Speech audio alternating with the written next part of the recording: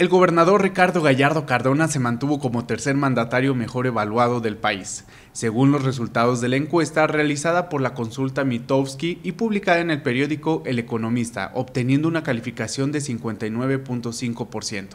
El resultado refleja que el 59.8% de los potosinos aprueba la gestión de Ricardo Gallardo Cardona respecto a su desempeño, obras y acciones durante los meses de junio y julio del 2023. El gobernador está en el tercer lugar de aprobación gracias al apoyo que brinda a las familias con diferentes programas sociales y con los que se logró disminuir la pobreza. De acuerdo con los datos del Coneval, 200.000 potosinos dejaron la pobreza en los últimos dos años.